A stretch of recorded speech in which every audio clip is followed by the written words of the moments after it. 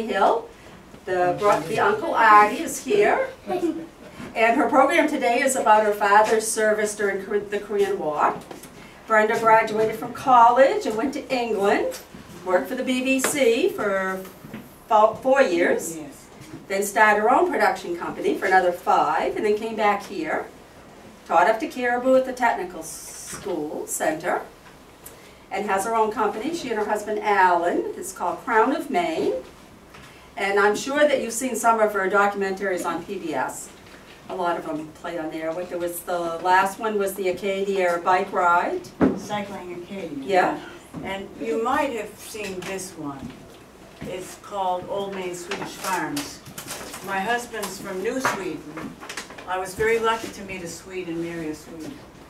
Uh, And so when I was lucky enough to move up there, I went around with Dan Olson, the Scandinavian scholar in the area, and we interviewed all, the last of the Swedish speakers.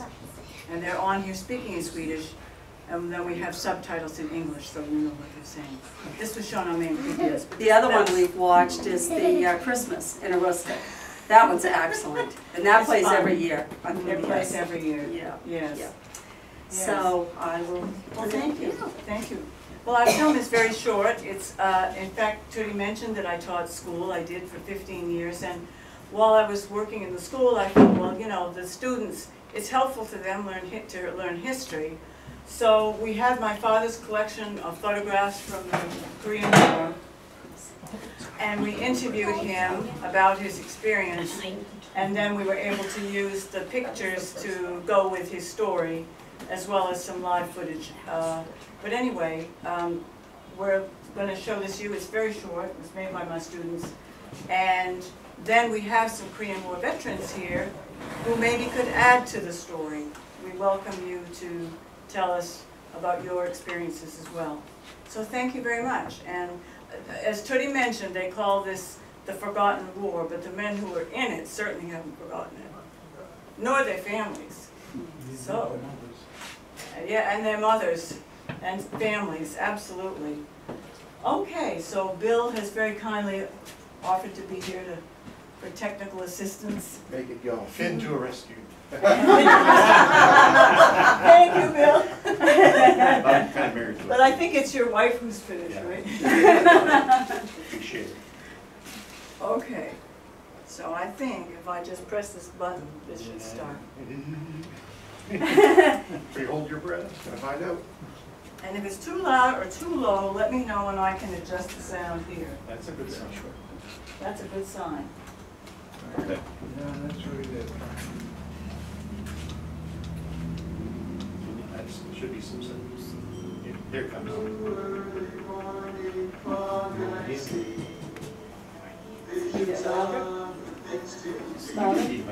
Needs to be louder, Don Nasberg has taken up video production in his retirement. At the age of 72, he enjoys recording scenes from nature, especially wildlife. But capturing scenes isn't a novel hobby for him. His interest in photography began years ago when he served in the infantry at Sandbag Castle in the Korean War. Between October of 1952 and September of 1953, he photographed shots of his army pals miles from his native Maine. Taking pictures at the front is far removed from the photography Don does today. But his memories are never far from his experience in Korea, where he served as a young man in his early 20s in a war that took place more than 50 years ago.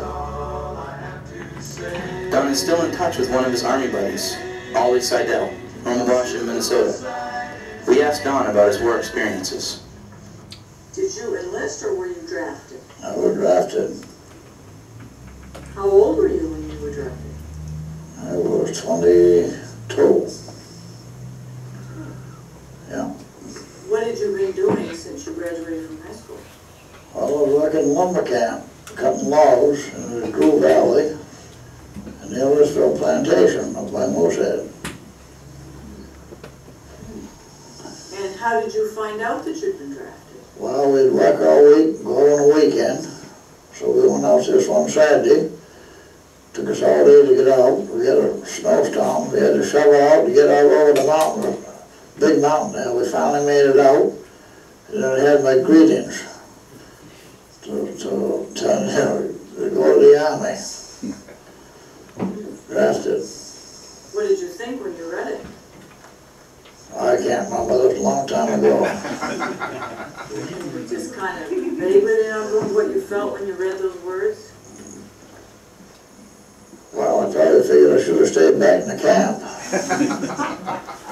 But I didn't. I said, well, they'd come get me anyway, so I figured that was it. How did your family feel, your brother and your father and your uncle and your grandfather? Do you remember them saying anything at all? I don't remember saying anything, no. I don't, I don't, I don't remember a lot of things I don't remember. So, where did you train? Fort Dix, New Jersey. What sort of things did they put you through or expect you to do? Oh, just basic infantry, on, on, uh, taking hikes, twenty mile hikes and DRI circle there and shooting a rifle and all that stuff, just basic infantry stuff. So you went to Fort Dix, and at what point did you then find out, okay, now you're headed for Korea? Well, they had sixteen weeks of basic training. So at the end of sixteen weeks, you get your orders to go either wherever they wanted to send you. Some guys went to Alaska, some guys went to Korea, some guys went somewhere else. All depending on where they wanted you. So at that point in time, it was me and another fellow decided to go to another school they had for eight weeks training for leadership training, so me and him went there. The rest of them left, and we stayed another eight weeks. So we got twenty-four weeks altogether training. And once you arrived in Korea, what did you do then? Where did they send you then? Well, all they do is just have uh, a place to go by track from here, you know, one place to another, and they took up the line, where the line was, front line. That's where we went. And whereabouts were you, did they send you? Well, That's where they sent me. To the front line, but where was the front at that time? Do you remember the name? Well, of at the that sign, I think it was, yeah, it was Sandbag Castle. The front line was at that time was Sandbag Castle, So what year would that have been? fifty-two. October fifty-two. What did you think when you first saw the place? I don't remember, Brenda. I don't remember what I thought about it. Did you look around and say, geez, there's a sandbags around here, or what did you, what did the land look like, or the place It look looked like? like it just all mountains like, all, you know, not all the big hills and mountains, what it was, all rocks, rocks and ledges, whatever. And they had, uh, the bunkers were made out of sandbags and right on the top, was right on top of the whole hill up there was a big bunker, and I guess that's what they call it, sandbag castle, just give it a name, that's all. So what was the sort of strategy at the time you arrived? What were they trying to do at that point? Well, at that time, we already had the DMZ line there, and we were there, that's all. We were on the line, just stayed on the DMZ line. Were you like there patrolling and watching, or were you launching any kind of offensives, or what were you doing? Well, mostly you stayed on the line, but they also had patrols, you had to go on patrols every night, somebody had to go on patrols and find out what they were doing. Ambush patrols and stuff. Of course, they was sending in loggers and stuff, and of course, they try to run over you once in a while, try to get you out of there. and Stuff like that. What do you remember of uh, those times, as far as the time you spent with the other guys? What did you do, like in your spare time, what did you do? I don't remember, Brenda, really. Guys, did you tell stories, did you? Have a chance to play cards, you were up there either controlling or watching or something else. You didn't play cards or anything, you didn't go back, you know, you stayed right there. You know that. And so many days, I can't remember now, it was thirty days or sixty days, and you went back for thirty days in Korea. So it's been a long time. Did you have friends or people that you were with who were killed? Yeah, yeah.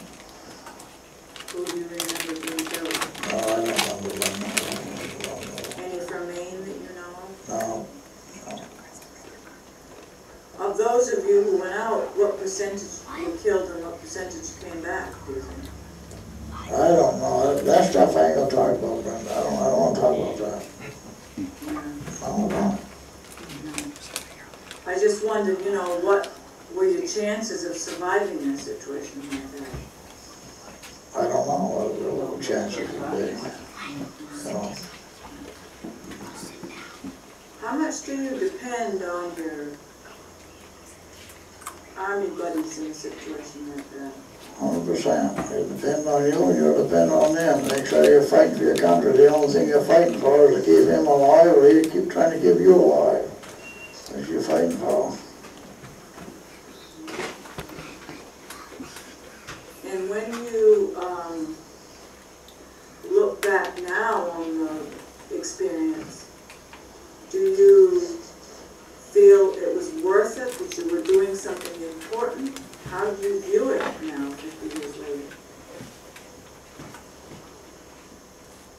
Well, it's pretty hard to say, really, come down to it. If they, they prolonged that war, I'd have been there, them wouldn't have been at the time I was there. The Chinese didn't want, to- the Chinese wanted their prisoners back, and they wouldn't send the prisoners we had back, so they just kept prolonging it and prolonging it for two more years than they should have. That's one thing, I didn't know about that at the time, but I found about it afterwards. At the time, you don't know anything about anything, well, they just send you over there and that's it, come back, if you're lucky, you come back, you ain't.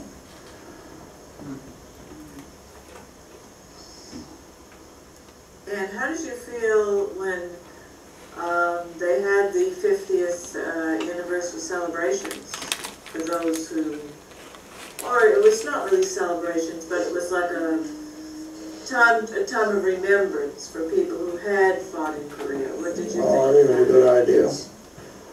Not for, especially for us, but for the one that didn't come back, what it's for, it ain't for us. It's the one that didn't get back, is what it's for. Any of that stuff. Now, there was one time when they let you go on furlough, and didn't you go to Japan or something?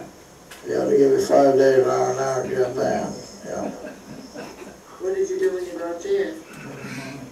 I ain't gonna tell you. Tell me what I do when I get to, well, I asked them what I did when I got there.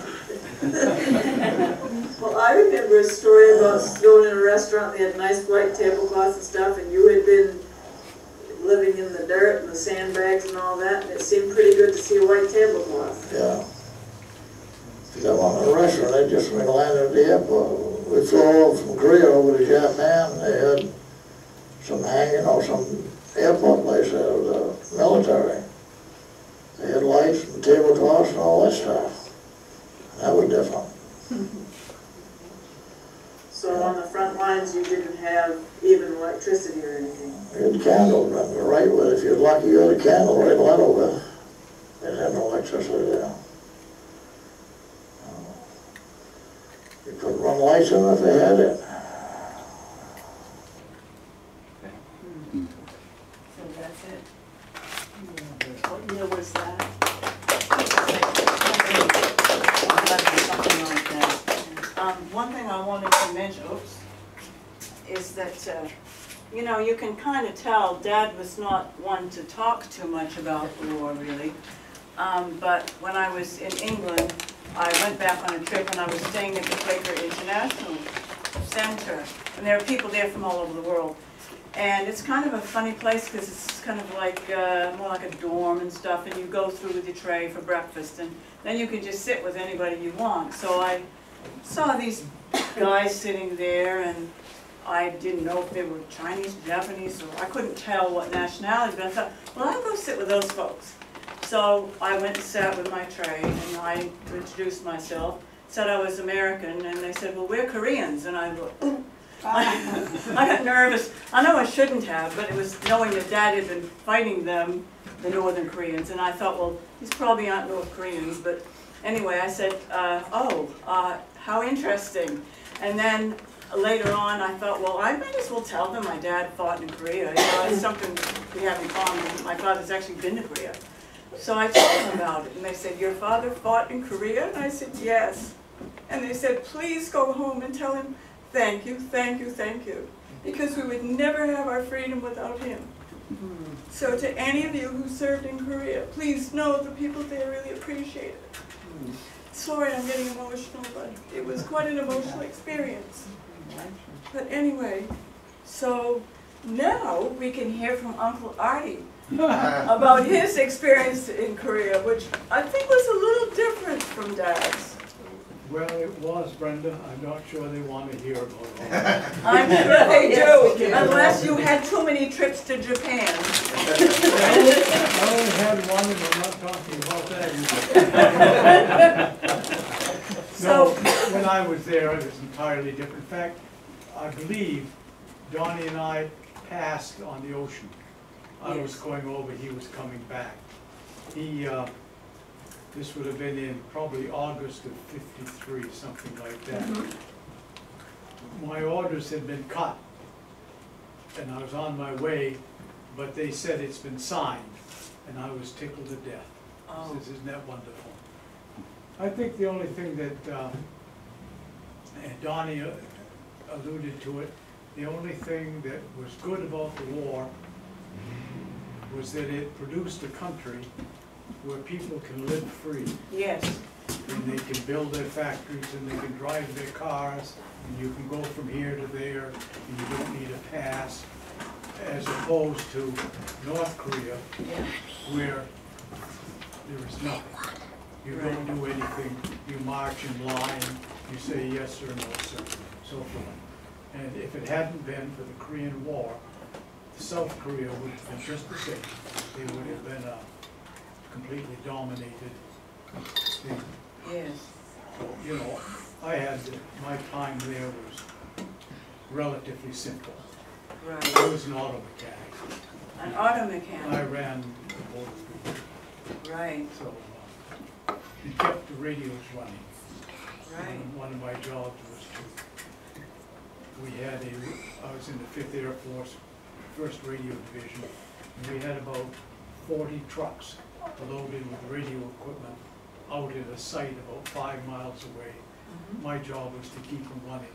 I didn't have to fire at anybody, I didn't get fired at. It was very fun. wonderful. Well, you're here to tell the tale. I'm here to tell the tale, I'm glad Donnie was here to tell the tale. Yes, Yeah. yes.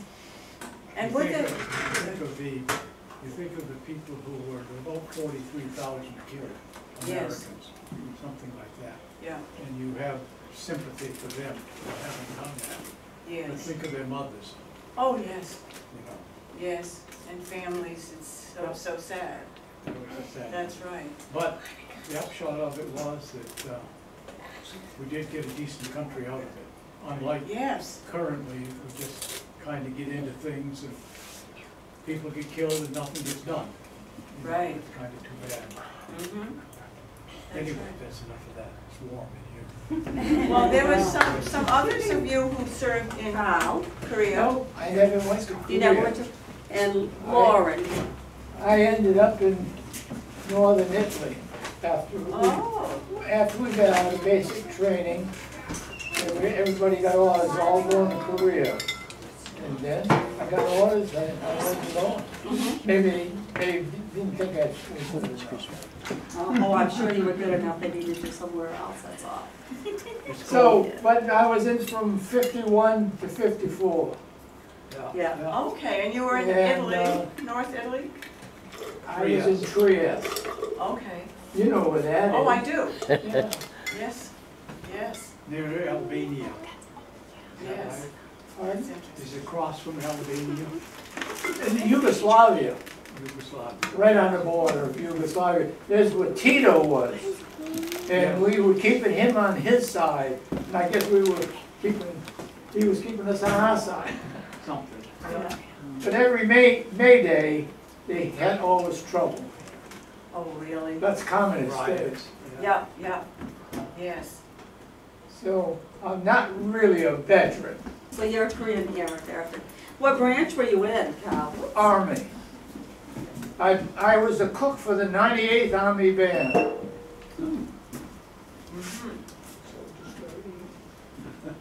And do we have, is there anyone else here who served, you served in Korea? Lauren did. Yes, whereabouts were you in Korea? I was with the thirty-first Regiment Georgetown Company of the Seventh Division, mm-hmm. And I only spent in the war a few months. Uh, And then I got shipped out to Japan also, to to Yokohama. I went up. And you mentioned you had a good time there, I believe. Well, it was better than Korea. Yeah. Anyway, uh, I don't have a lot to say really. I was online and in a trench watching the truce day come about. Wow. Oh, yeah. and American fighter jets were still strafing the other side of the valley. And then when the time came for the truce, all of a sudden it just, everything ended. Wow. You see, that, that's exactly what Donnie told me. Yeah, He says he, they knew it was coming, I think ten o'clock at night, Yeah. would that be right? And they had thrown everything they could lay their hands on across the line, and the Chinese did the same, yeah. coming across. And then the dead, then the ten o'clock hit, and it was just dead silence. yeah.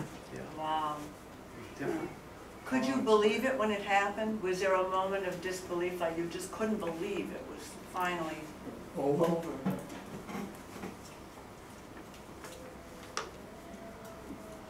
Yeah, I could. And I kind of, I volunteered for the draft in the first place because I was tired of waiting.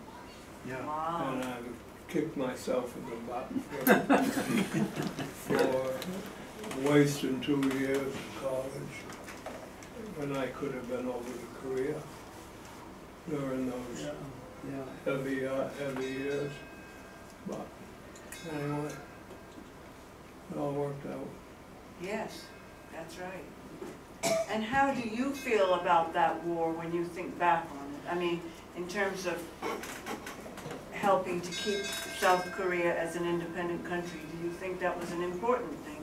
Yes, Yeah. because after the truce was signed, I stole a Jeep and went down to Seoul. I wanted to see for myself what it looked like, and it was just absolute destruction. Really? Everything, I couldn't get a Jeep through the city Of Seoul? of Seoul. Wow. So in that perspective, and now you start thinking, my God, what have they done? They've come back from all of that Yeah, they horror. recovered, yeah. It's a very modern country, isn't it? Oh, yes, I very have, much so. I have some pictures up there uh, that I took Good and look off at Yeah, in the bombed out windowless buildings that were there. Yeah, it's, uh, I'm gonna take a look at it. good. That's I was stationed there initially, north of Seoul, Yeah, so I got to around the city. Yeah, take a look at it. Now, did any of you that were there bump into others from Maine or even from Monson? You bumped into somebody? I bumped into two people from Greenville, You did? and I was talking to the son of one of them just two days ago. Really? Yeah. Really? And, uh, yeah, Do you recall their names? Who they were? Allison Daigle. And I don't remember the other one. Maybe Dago. And do you know of any from Monson who went but didn't come back Oh, from the Korean War? No, Good, that's a good thing. If I not, had my, my lieutenant was killed. uh, Taking us through a minefield. And it blew up, of course, and it caught him right here. So I remember carrying part of him back out. And then what I remember most is a few days later, they had taps the valley. And we were sitting on the side of the mountain, listening to taps and it was echoing Yeah. all over the. Wow, That's about it. Thank you. yes, yes. Hmm. I'll tell you a little story about a friend of mine that was there Yes. in Korea. And uh, when he told me about, I lose my train of thought, so I have to. Uh, uh, anyhow, he got captured over there, was a prisoner for quite a while. And the hell of it is, he came back, and after a couple of years, he committed suicide. Oh dear. That's awful too bad. Too bad. And I found out this week, my daughter-in-law uh, has a, one of them smartphones or whatever they are, and uh, she looked up a couple of uh, army buddies, and uh, it was, it's really something. Their picture came right up in her camera, and both of them were dead. They, they died recently, you know? Oh, Yeah. but you got to find out about that. Me and Artie, you know, we're the same age, right? Wow. Right, we are. Yeah, You're older. By three months. Three months or three days? Three months, Three January, months, uh, okay. February. I- Right. Well, And my- he was in the parade in his uniform, Yeah. and he's got on his shirt. Yes? Yeah. And uh, when he came, he didn't want to wear it, and I insisted that No, I I- allowed him to put it on. Yeah, He deserved to put it on. no, I don't know about that. Yes, uh, It's been a long time, seventy-one years since I've seen it. great on the way, My- put it back My daughter had put it away in a closet, I never even knew it was there. Wow. She said yesterday, you ought to wear your shirt going up. I said, what shirt? She says, the shirt you get out with. Oh And sure enough, she produced it. Fits you wonderful. Well, It does. Not Great quite on wonderful, but it fits me. Well, gotta. I would say it's at the same time, seventy-one years, Yeah, just like him, Artie. yeah. Yeah. And uh, I tried my uniform Full- on, Full and uniform. had to put, my pants had to be opened up this much in the back, and the, and the night jacket, I, I, I couldn't button it, that's why I left it open today. It's all right, that's still pretty good. That's It all is right. still pretty good. Except it was warm. Did you say Addie had a story about a popcorn machine? Yeah, Uncle Addie was Oh, no. telling about his Oh, that one. experience on the Very base much. with a popcorn machine. No, no, Donnie, brother Donnie, went over, what did he say, fifty-one to fifty-two? October fifty-two. I didn't see him until when I got out and got back from Korea in fifty-four, so it's three or four years. And I happened to meet him at a party here in Monson, and he had, he had your mother on in tow at the time. And, uh, anyway, he never said anything about what was going on, he didn't. I says, but Jesus, I was over there, I know what it was. I says, you know, we had to go up to the army base because we didn't have a place of our own. And one night, the goddamn popcorn machine broke down, and that place went wild. Jesus, didn't he get mad? What the hell are you talking about? Yeah, he didn't appreciate that. No, I bet he didn't. Well, it's interesting, uh, because when Dad got out of the war, he was in Augusta, where he, he met my mom. But he was working, uh, down at Bath Iron Works. So even after he got out of the war, he was helping, in a sense, he was painting the big battleships in Bath Iron Works. And then after that, he got a job at Togus Veterans Hospital. And he ended up working on the psychiatric ward Yes, he did. helping a lot of the soldiers who had PTSD. One night he had a funny feeling and went to do a bed check and there was an empty bed and he went and found the young man in the shower, he'd slit his wrists. So mm-hmm. dad put tourniquets on him and saved his life. So mm-hmm. you could say that, you know, the people who went through the Korean War, it kind of, they, sometimes it affected them. Oh, and in, in good ways and bad, Dad got that job and it was good he could still give back when he returned. Did you bring your guitar? Okay, thank you for coming. Thank And- you. Yes.